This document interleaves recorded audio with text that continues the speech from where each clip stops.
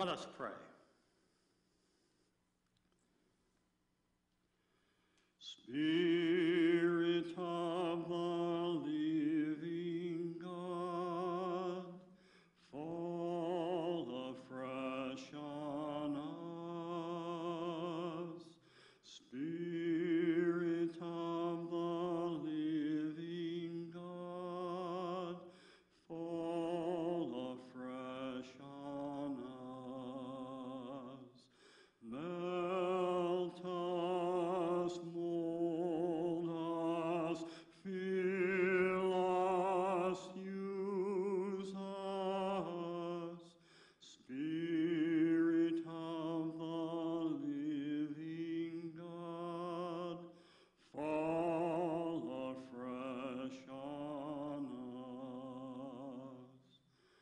God, may your Holy Spirit fall upon us this morning, that as your word is read and proclaimed, that we may be filled with eternal hope and celebrate the joy of salvation.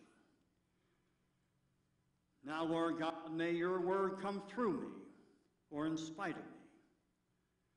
Thank you for yet one more opportunity for us to try to get it right. In Jesus' name, amen. The scripture reading is from Paul's letter to the Ephesians, the first chapter, beginning in the 11th verse.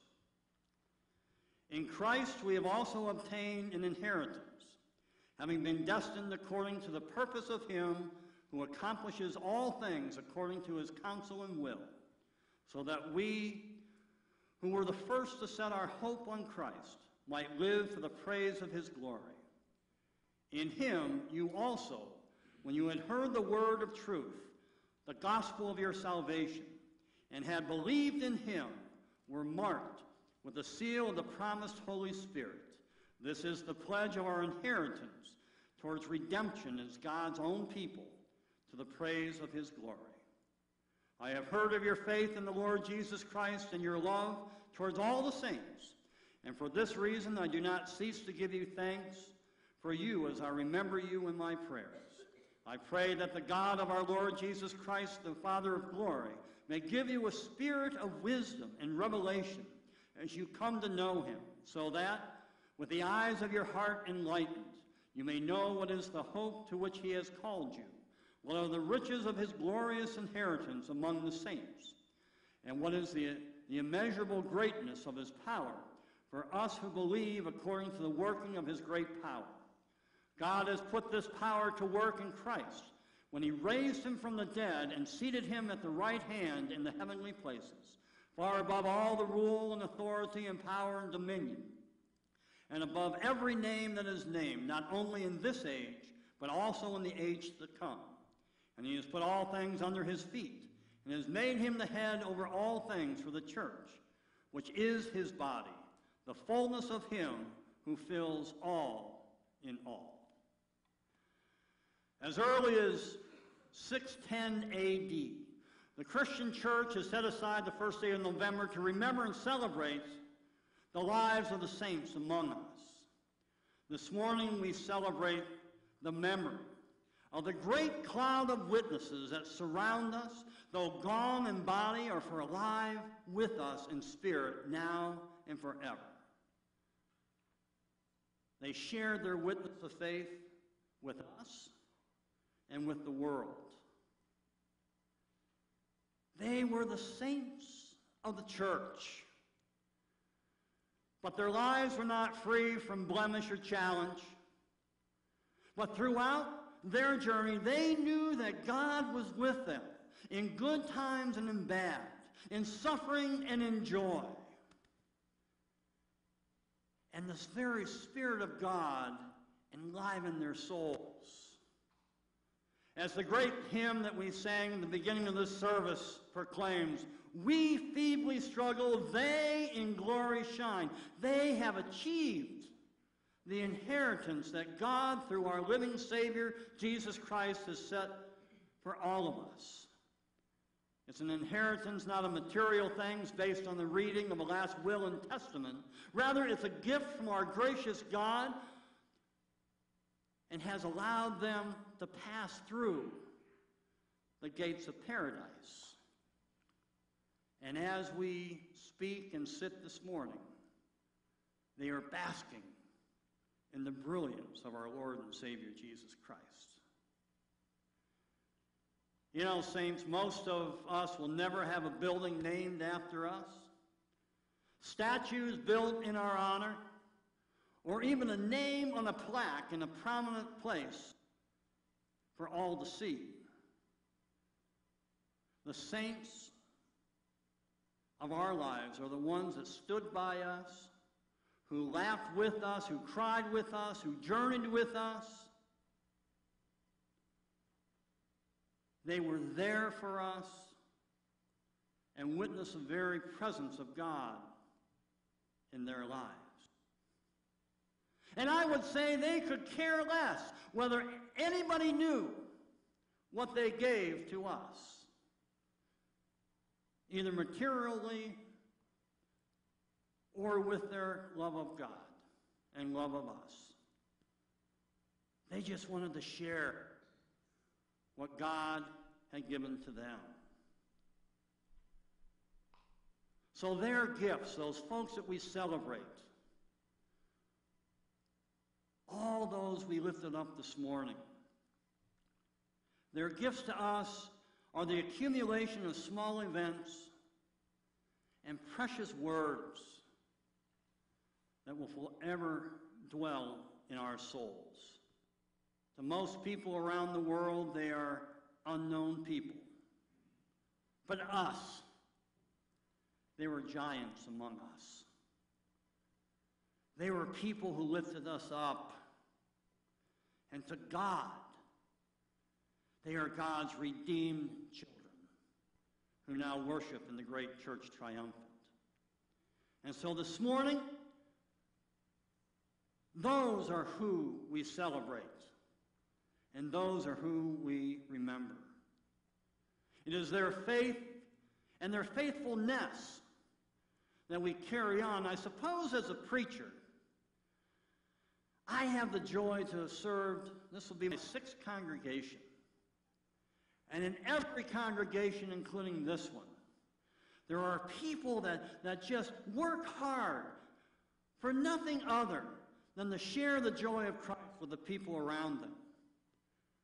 To give so the lights come on, or, or, to, or to, to cook for a potluck, or anything, to weed the beds, whatever it might be, there are people in every church that do nothing for themselves, only for the Lord.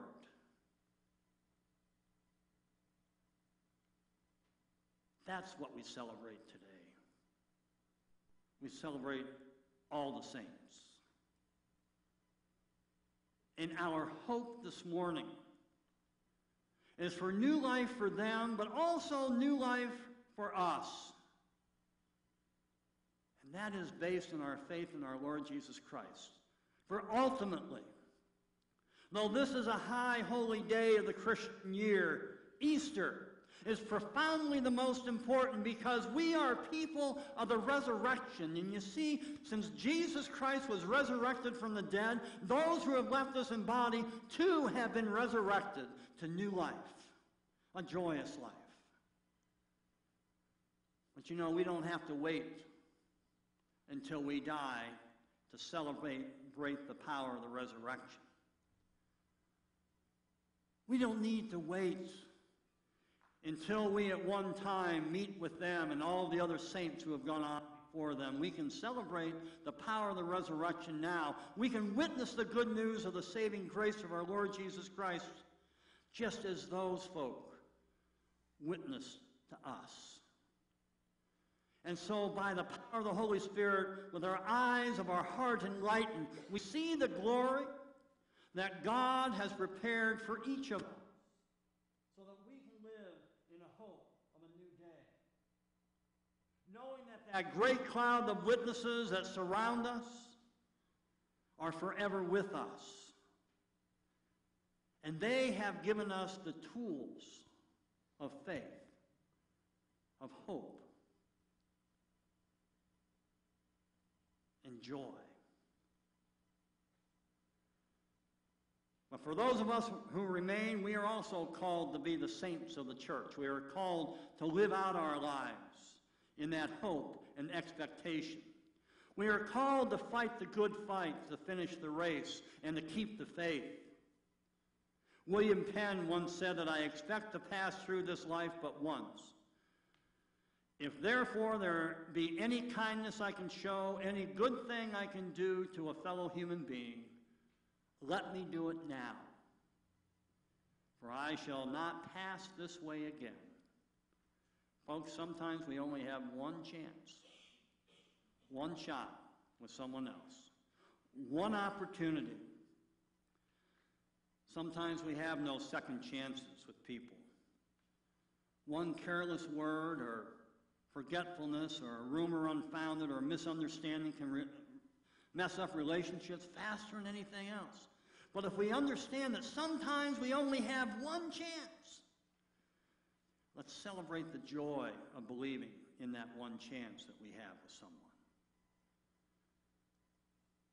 Let us pray for the spirit of wisdom that would open our hearts, that we may see the joy in everyone, that we may witness what the saints have witnessed to us, and to celebrate the inheritance to which we all have been called.